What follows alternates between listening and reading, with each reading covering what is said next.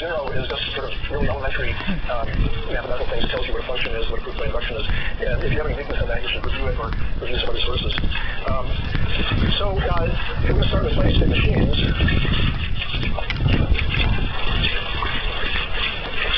Machines, and this is also called, sometimes called finite automata, autom, however you spell it. Uh, anyway, or, uh, whatever.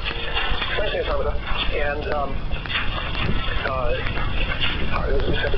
so these concern strings, strings over an alphabet, that are um, processed by this machine called the finite machine, and then either accepted or rejected. All right, so we have to have an alphabet. And that's usually abstractly, the alphabet is just usually abstractly written as sigma, and let's just look at a particular one, zero, one. So this is the binary alphabet. So we're looking at strings that are written over zeros and ones, the binary strings. Okay, and then a string a string is just a, um, a, a concatenation of characters from sigma.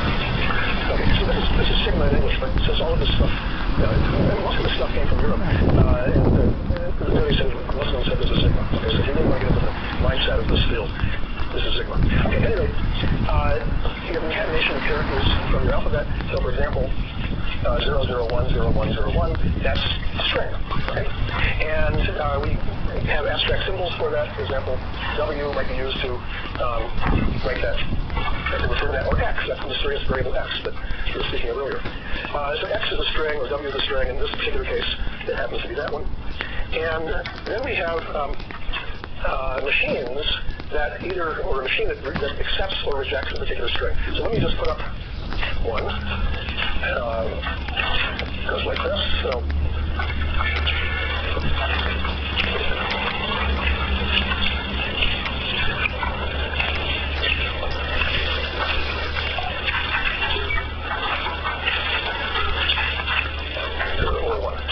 Okay, so the way this works, these things are called states.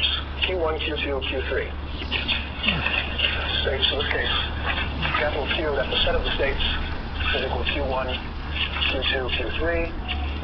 Okay, and um, the computation begins at some um, begin state, which is usually which is written by having an arrow into, an arrow into it, but no arrow. The arrow isn't coming from anywhere, so this is the begin state. So the begin state, in this case, happens to be Q1. And then we have um, F is a set of final states, final or accept states.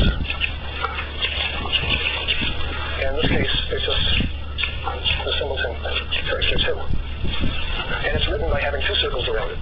Okay, so that um, schematically shows you what the final state is in this case. But you can have, you can have more than a single final state. You only have a single uh, start state or begin state, but you can have a whole bunch of uh, final states. And then what happens is that you can imagine feeding W